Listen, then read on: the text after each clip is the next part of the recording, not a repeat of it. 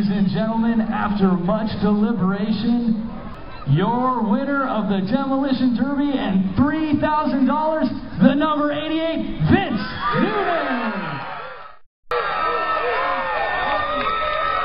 Second place going to the 8 Ball In Junior, driven by Vic Nunez Jr. Third place going to the number 14, Jesse Rodriguez.